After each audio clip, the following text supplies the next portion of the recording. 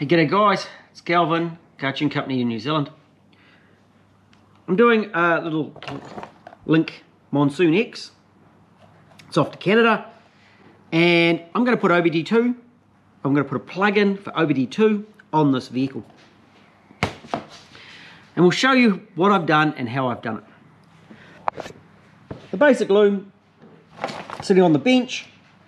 This one is a, funny enough, it's a 1UZ uh, it is Link Monsoon, it's Tefzel, it's Raychem, it's new plugs, it's using the standard ignition, so just a little two channel igniter on there. It's got lots of cool stuff. It's got uh, the ability to change from just an oil switch to an oil pressure sensor, like that one. Lots of cool outputs. There's a video on the loom so check that out as well if you're interested in something like this or what you can do. And even though I'm making these looms, I'm also sharing information on, on how I make them and what I do and these tricks and tips of making your own looms and making your looms better. So when I wire these, I use the, the two can outputs, so can high and can low. And I bring them out to a normal 4 pin DTM and I pin it the same as the CAN Lambda. So that has a, a, a power wire and that wire is on its own on its own circuit all the way from the relay box all the way from there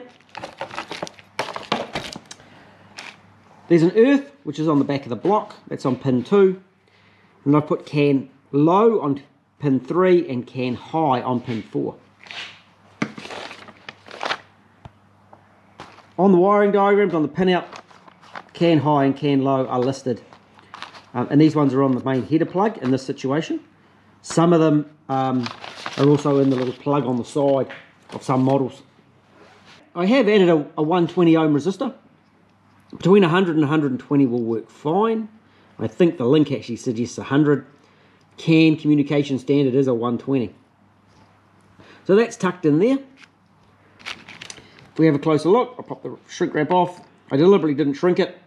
So I've got my can low, the green wire, green for grass, the 120 ohm resistor, and then the yellow wire, yellow for sun, which is up high. And they will get shrink wrapped and just tucked close to that can plug.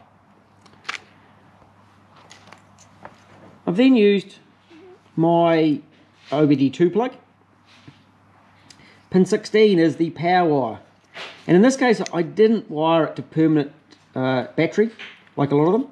And this way I can use a little dongle, which we'll see soon, to communicate with the ECU. We've got two earth wires in pin 4 and 5, and they are fine just going straight to the to the uh, back of the block, earth on the block and be joined can high in pin 6 and can low in pin 14 directly below it. So that's the OBD2 plug and it will plug directly into the loom like so and we'll get some communications. I'm going to fire this loom onto that engine and then we'll do some setup and we'll make that can work and we'll confirm it probably to my phone or to my scan tool that it's working like it should. Oh, look at that. Sun is shining in. Wiring loom is fitted to the engine. It's a little hard to see. I'll see it in the shadow and it actually gives better. There we go. ECU's fitted, powered up. It makes the rum rum noises when I touch the wires. That one there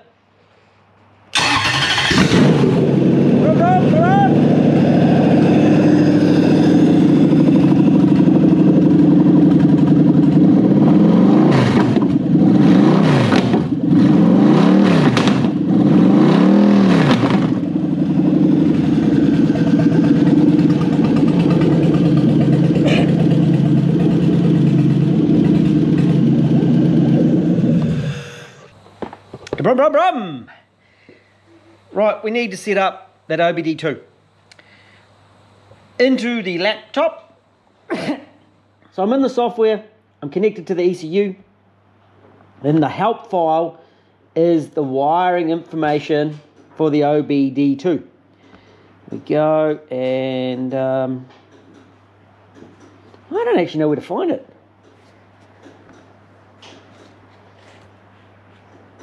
OBD2.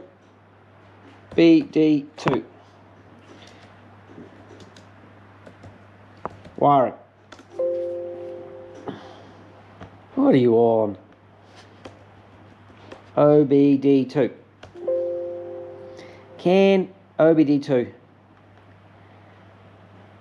Doesn't help me.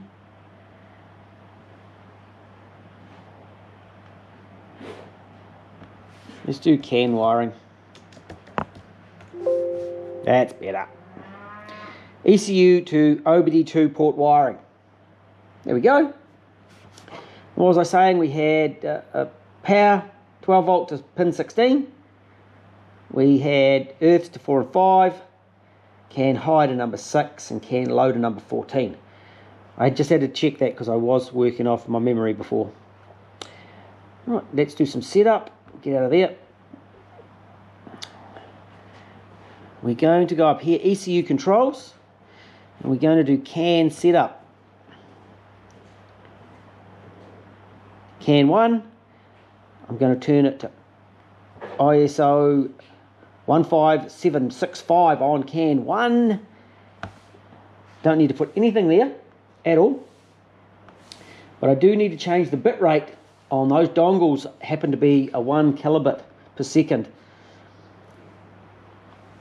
This is set up for some CAN lambdas, actually in the tune previous. I'm just going to turn those off.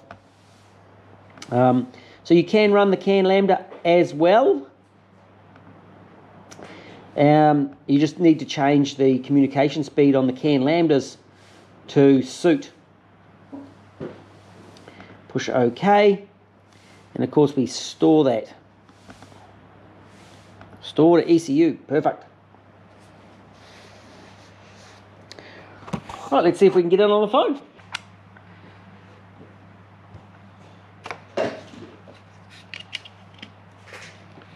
Plug the dongle in. And it's doing its thing in here. There's flashing of lights. We've got real-time information.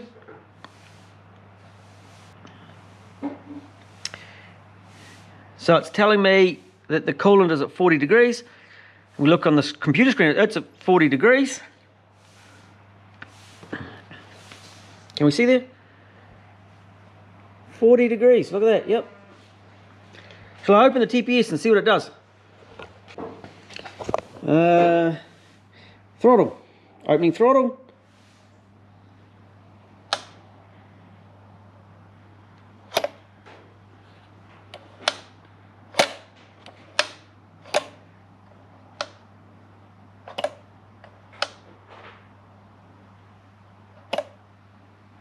Perfect.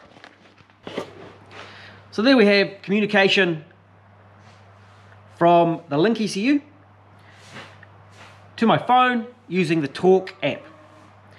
Using though one of the little cheap dongles, you can get them in a lot of places. Those ones that I use just seem to work just fine.